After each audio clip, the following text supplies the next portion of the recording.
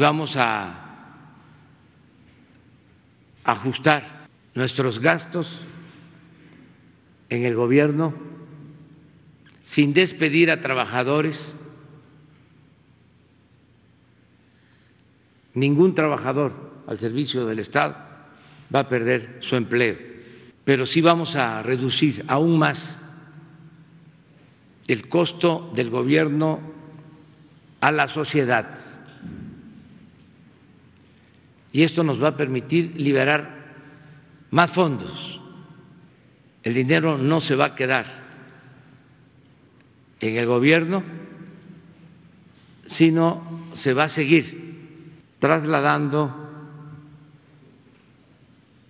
al pueblo. La fórmula es eficiencia, honestidad, austeridad y justicia. Todo el ajuste, el apretarnos más el cinturón, tiene como propósito proteger a la mayoría de los mexicanos. Van a tener protección